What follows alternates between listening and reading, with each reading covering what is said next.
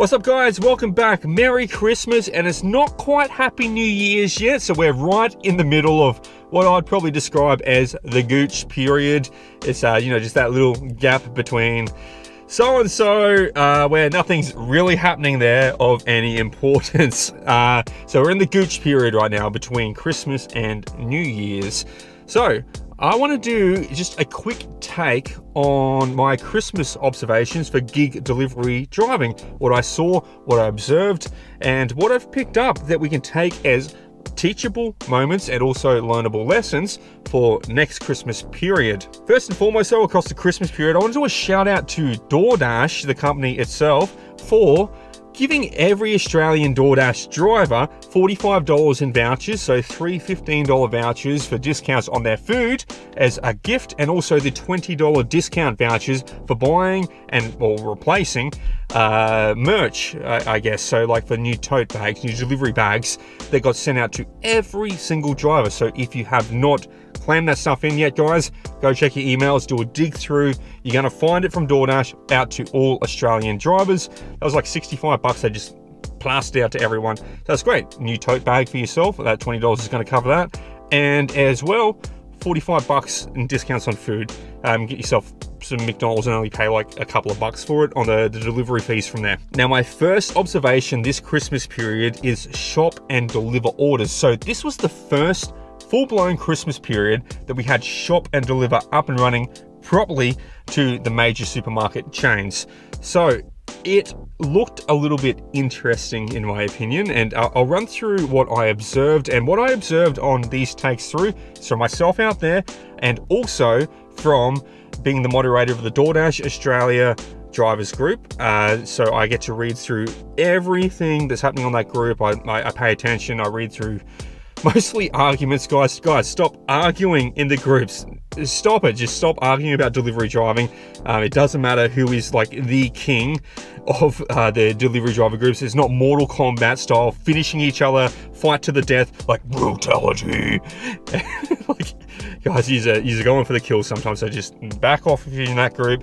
Relax. I'm moderating it. If it goes too far i have to like pull out the comments but all it means is that I read through everything going on. So I read all the stories and how other people are experiencing it. But shop and deliver this year, my observation and take, uh, the Christmas Eve, I was not out delivery driving, but I did show up to a Coles and I saw lines going through the aisles of people trying to get to checkouts and the self-serve register was about 40 deep. I popped in just to try buy a box of chocolates for my mum as an extra gift on top for Christmas Day. Saw the lines, I went, nope, F this and walk there straight out of there, straight the F out of there, man. I was like, no, not, I'm not waiting in lines for 30 minutes to buy a box of chocolates. But because I'm observing and I've got a delivery driver mindset around me, I'm like, okay, what that tells me is that anyone doing a shop and deliver order uh, on, you know, Uber Eats, DoorDash, Milk Run, I think is running right now on Woolworths, anyone doing gig work around shop and delivers, if they show up, they power shop through the aisles, I think a lot of items would be missing because people were raiding these supermarkets. And secondly, once you shopped everything, you're stuck in the lines with the consumers as well. So it's not going to be a fast process. So I'd be very interested to hear uh, in the comments, guys, if you're out on Christmas Eve or on the days on the lead up to Christmas Eve doing shop and deliver orders, how's your experience with the lines trying to get through? Was it worth it? Did you stop doing shop and deliver orders? Did you keep doing shop and deliver orders? Let me know your thoughts. But from my observation, it looked like it was not worth doing because of them lines and you're getting paid any extra to wait in them lines. Now, mind you, the gig companies did blast out to us saying, these are our busiest days for shopping. Make sure that you give it a red hot go and go for it and get them shopping orders done.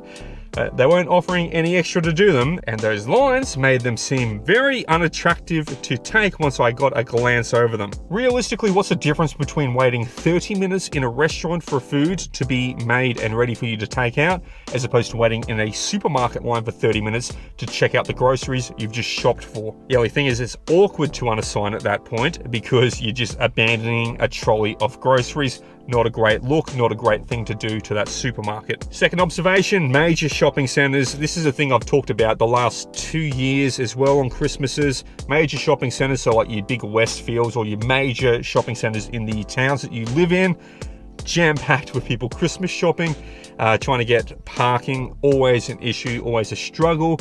I, I, always say just leave it for the people on bikes, leave it for people on scooters and stuff to zip in, zip out, do them deliveries. Don't waste 10, 15 minutes trying to find a park just to pick up from a restaurant inside a major shopping centre. Avoid it like the plague. I say that every year. Avoid it like the plague. And I saw the same thing this year. My third observation is an interesting one. So I was out the night before Christmas Eve, uh, just doing some Uber Eats and DoorDash deliveries, multi-apping away, taking the best offers I could get. And I noticed uh, that a couple of restaurants, well, not a couple, most of the restaurants were absolutely slammed from orders coming through. And that's not just from gig work, guys. Uh, there was customers going in ordering without using gig apps. So I had to unassign two orders on the night before Christmas Eve from what I would call reliable restaurants. So these guys are, are rarely ever late having the food ready for me when I arrive, or if I do show up, they've got it there within like one to two minutes. I've just shown up at the right time and they're rushing the food through.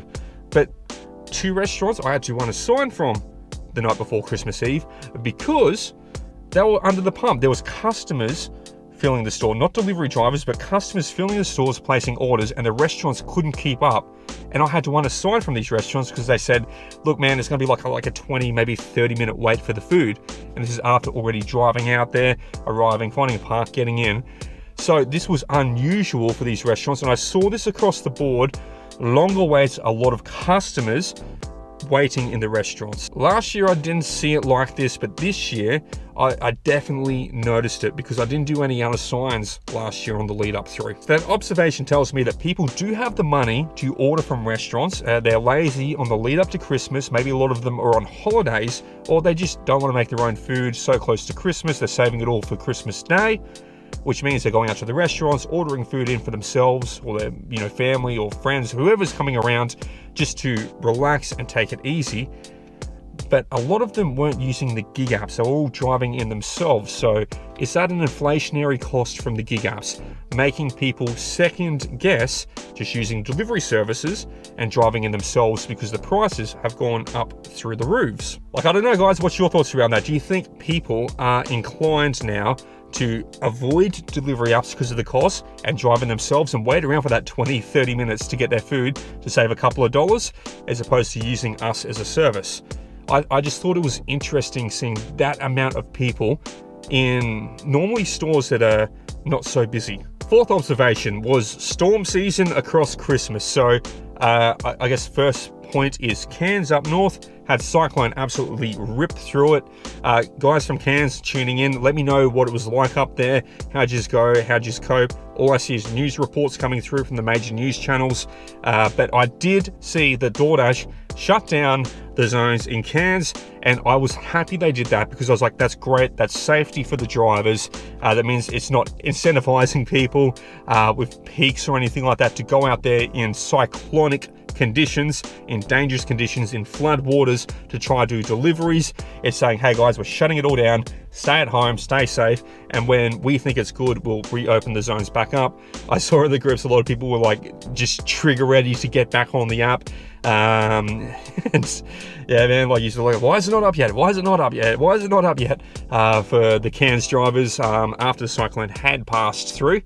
So I know you were trigger ready, but damn, guys, like, you know, like take a day, take two days off, just relax, focus on yourself, focus on your family, on your friends, on your home. You just had a cyclone move through. That's a major event.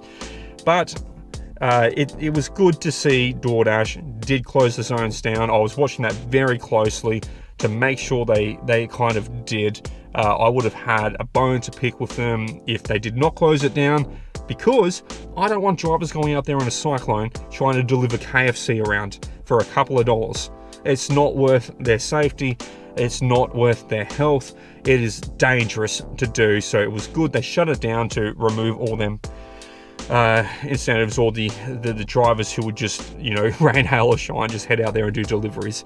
Um, there was a, a, stern fine line to stop it. So it was good to see. Secondly around christmas um, well actually christmas day that just happened uh, major storm cells came through southeast queensland. Uh, i think 130000 homes were out of power and stuff. So i was checking in and watching the group and it seems like that quite a few houses. Um, 130,000 houses initially, but um, houses and restaurants uh, were all out of power on blackouts. So people were trying to order through the gig ups to get food delivered, and some of these restaurants couldn't service the orders. So that was a bit of a jam up. So Christmas weather season. Uh, normally, normally this bad weather comes through on January, so it feels like it's a little bit early this year. Uh, what are your thoughts? Do you think it normally comes through on January, or I, I know we do get December storms sometimes, but I don't know, just feels feels earlier than the last couple of years. But yeah, then blackouts have affected restaurants, caused driver wait times, caused restaurants not to be able to service certain foods. I know some threw on Jenny's and some threw on, uh, you know, had backup power and stuff like that just to keep stuff going through. But there were certain things they couldn't do. I was watching a couple of the uh, Gold Coast drivers uh, voicing their concerns in the groups, saying, I can't do this, can't do that. Um, now, this restaurant's horrible wait time customers who had power outs were all moving into areas that did have power on to get food, to, to go to the restaurants, like the McDonald's, the KFCs, the fast food places, to get food because their power's all out, their fridges are all out, their ovens are off, they need food, so they're all driving in themselves to get it, causing jam ups and delays again. But uh, that was my Christmas observation, guys. I guess take it in as, you know, these things could happen, these things can happen. Uh, these things I've observed. I, I, think the shop and deliver is probably the biggest takeaway. I want to hear what you guys think. I don't think, from what I observed, that shop and delivers are worth it on that lead up to Christmas when everyone goes mad, uh, shopping like it's the end of the world, dude, rushing into Woolworths and Coles and all the supermarkets, jamming it all up just to buy one day's worth of food uh, because nothing's going to be open the following day. Plus, huge celebration. Everyone's their Christmas food saved till last minute to get the freshest. So yeah, I don't think it would be worth waiting for 30 minutes to do a shop and deliver and then drop it off and then go back in, do another shop and deliver, uh, wait 30 minutes and then drop it off for them lineups to the checkout. I think that's just a little bit brutal. I'd be curious to see how the gig ups address this next year because I'm sure there are a lot of drivers that got caught out by this and it's left a bitter taste in their mouth. But let me know your thoughts down below. Was there anything this Christmas period that you noticed that impacted your driving or made your driving better? Uh, leave it down below in the comments. Keen to hear what you guys think. Let's share this information around. We're a community online. Uh, we want Australian drivers tuning in here to have the best opportunity to make as much money as possible. Okay, so that's all for today, guys. Hope you had a great Christmas day. Um, those who did work, let me know how you did do on Christmas Day. Um, was it busy? Was it not busy? I didn't work I spent time with friends and family. I deliberately took the day off because I am in a recharging kind of zone right now, getting fresh for 2024 to go absolutely ham, bro. We're going to go absolutely ham 2024. Uh, that is my year to earn money out there. But let me know how you went on Christmas Day if you did work. And that, guys, take it easy, drive safe, and Peace out. I've got a joke. Oh, you're normally not very good at these. Knock, knock. Who's there? A delivery driver who hasn't subscribed to Chris. A delivery driver who hasn't subscribed to Chris who? No, not Chris who, Chris Booy. And he's got more videos to watch over there. Wait, that's not how that joke works. La la la, can't hear you, mate. I've just clicked up there into the next video and I'll see you in the next one. You guys are lucky. I've got to put up with that idiot every single week hit the like and subscribe button and maybe one day in the future you'll get to see me throttle him.